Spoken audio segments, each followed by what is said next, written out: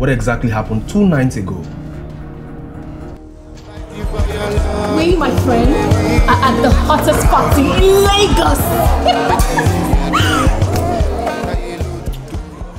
you knew she was popular, and then you tried to shoot your shot. So you suggested moving to a more quiet place? Chukwuma! We need to leave. And now. Do we have to do this again?